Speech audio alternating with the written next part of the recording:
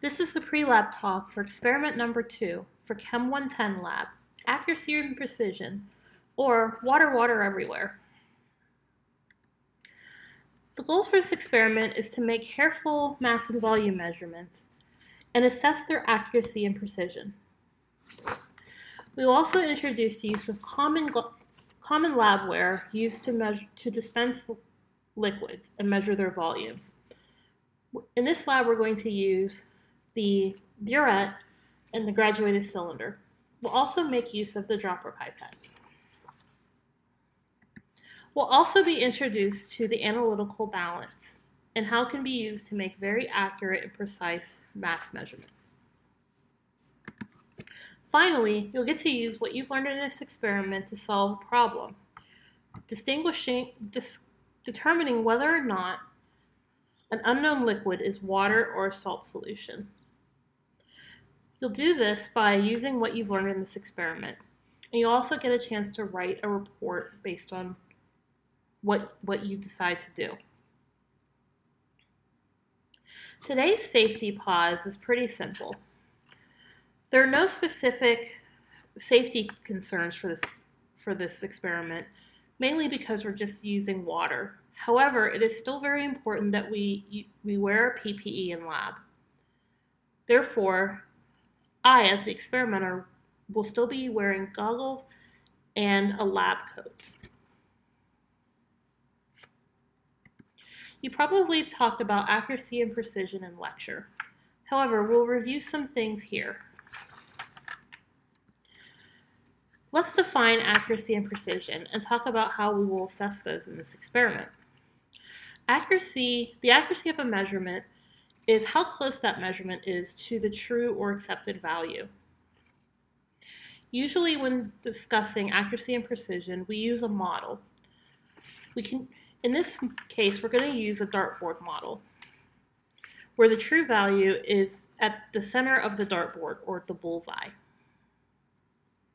If we look at the measurement, if we look at the, the darts that are thrown in both boards A and B, we see that in board B, the four darts are very clustered around the bullseye.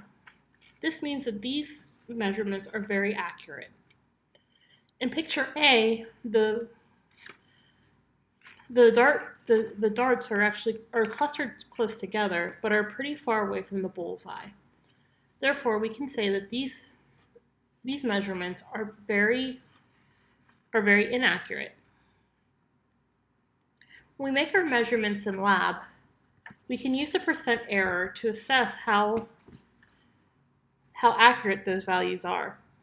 The percent error is calculated by taking the difference between the measured value and the accepted value, dividing the, that difference by the accepted value, and multiplying by 100. We usually take the absolute value of the ratio first before multiplying by 100. Precision is related to the reproducibility of a measurement. How close together are those are the measurements to one another? In picture A and B, we see that our measurements, the, the darts are very clustered pretty close together. This means that our dartboards in both A and B are very precise although the darts in, in picture A are not very accurate since they're not very close to the bullseye.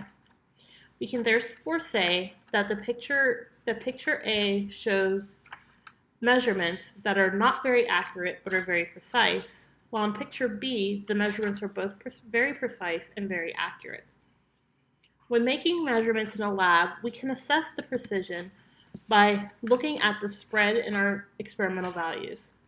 In today's experiment, we will calculate precision by calculating the spread in data values, which can be done by subtracting the smallest value from the largest value. We will divide those by the average in our experimental measurements, which can be calculated by taking the sum of all of our measurements and then dividing it by the number of measurements. We can then multiply this by 100. In Table B, you're given criteria for assessing how accurate and precise your values are. If your percent error and precision are below 1%, you can say that your measurements have good accuracy and or precision. If your percent error and precision measurements are calculations are between 1% and 5%, you can say that these the accuracy and precision of your measurements are satisfactory. If those calculated values are above 5%, then you can conclude that your values are your your measurements are unsatisfactory in terms of accuracy and precision. You'll be asked to reference this table use it using your calculated precision and percent error values throughout this experiment. Make sure that you use these criteria when you're asked to assess accuracy and precision. Although we will demonstrate how to use the equipment in our in the lab videos, we want to go over a couple of procedural points. Let's talk first about using a burette. First of all, if you look at any burettes, in this lab we're using a 50 milliliter burette, as we will use in most labs, you'll see that the burette is marked every tenth of a milliliter. It means there are about 10 markings between each milliliter marking on the burette. When making a measurement with graduated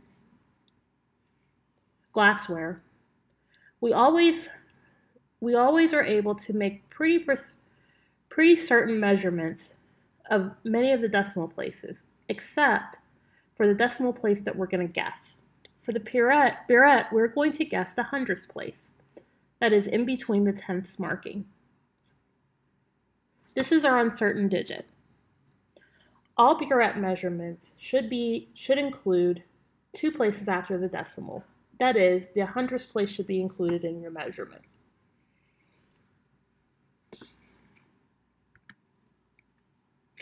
It is also not necessary, whatever you use a burette, you can fill your burette as much as you want.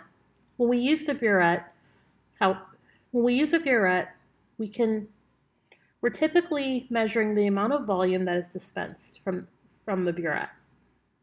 We do this by measuring an initial, by taking an initial burette reading and a final burette reading after we dispense the amount of liquid we want we want to use. Since we're taking the different since our volume is the difference between these two readings, it is not completely necessary to always start at the 0.0 milliliter mark. You'll see in the video that, except at the very beginning of the lab, I don't actually start very close to the 0.00 marking, and that's okay, as long as I know the difference between the burette readings, the initial and final burette readings for each run.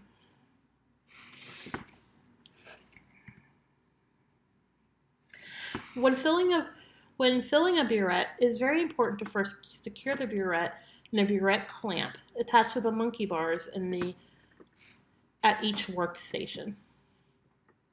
Then you can fill a burette by putting some of your liquid reagent in a beaker and using a and, and placing a, bottle, a funnel in the top of the burette. You can then pour your liquid from the burette into the funnel. This is the safest way to use a burette that will minimize the likelihood of the burette breaking or or you spilling some of the chemical. Never ever use a stock burette, stock, I'm sorry, a stop a stock container or bottle to fill a burette, since the container is usually very heavy and could fall on the burette and break it. There's also the high risk of a chemical spill there.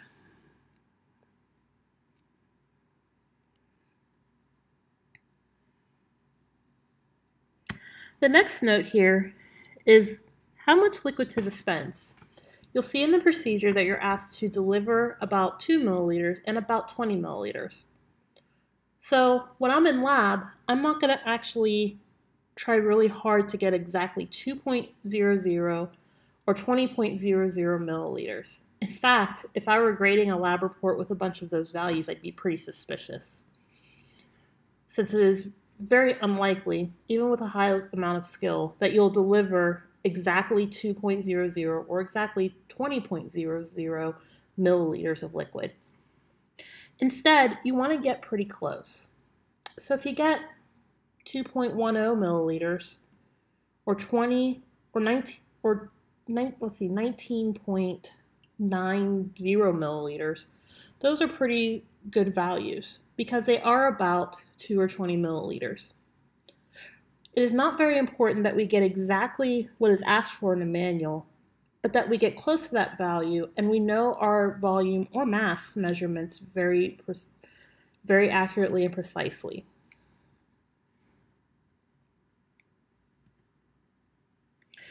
You'll also notice that burettes are not pieces of equipment that we keep in our lab drawers.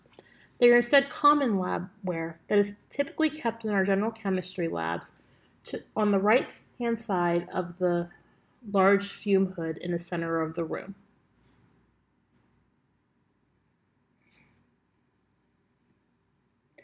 We're also going to be using an analytical balance in this experiment. There are there is a list of balance rules found in Appendix A of your lab manual, which is posted on Canvas. We'll go over some of the rules that are very specific to our to the labs for this for today. The first rule is that you always want to use some sort of container when measuring when measuring a chemical substance. This is pretty obvious if you're using a liquid, but maybe not as obvious when you're measuring a solid. For this lab, we'll place our water in either a beaker or a graduated cylinder when weighing. For solids, you may also want to make use of a weigh boat, which is a small plastic container that we can use for mass measurements.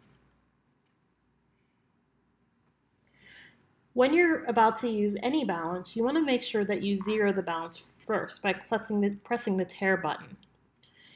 In the analytical balances in our lab rooms, there's a, a long blue bar or button on the analytical balance for taring it. The next two rules are pretty specific to the analytical balance. It is very important that when we use an analytical balance that we never add or remove chemicals while a container is on the analytical balance. Analytical balances usually run about $3,000. Therefore, they're very expensive pieces of equipment. When we add or remove chemical from, from the container while in the balance, we risk spilling a liquid or solid reagent into the circuitry of the analytical balance, which can cause damage. In later experiments, you'll see how we can use both the analytical balance and the top loader balance to get an accurate measurement of our sample weighing of our sample. Another important thing about the analytical balance is that it was invented to actually weigh gases. Therefore, it's a very sensitive piece of equipment that can measure mass out to the 10,000th place in many cases of a gram. Therefore, air currents in particular can, can affect the accuracy of your measurement.